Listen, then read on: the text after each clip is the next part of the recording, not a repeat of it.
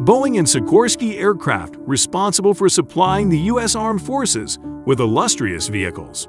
Now the two firms are teaming up to develop a brand new gunship for the U.S. military, the SB-1 assault helicopter.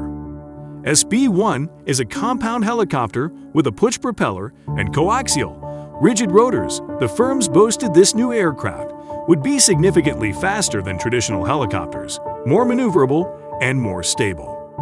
The helicopter will boast a cruising speed of 280 miles per hour, far outstripping the attack helos currently utilized by both the Army and Marine Corps.